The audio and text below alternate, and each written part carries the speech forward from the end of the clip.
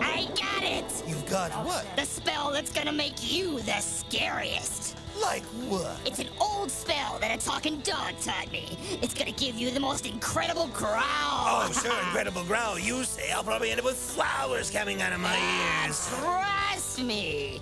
What have you got to lose? At this point, nothing. Okay. Dorcas, Porcus, Porcus, Malorcus, baboom!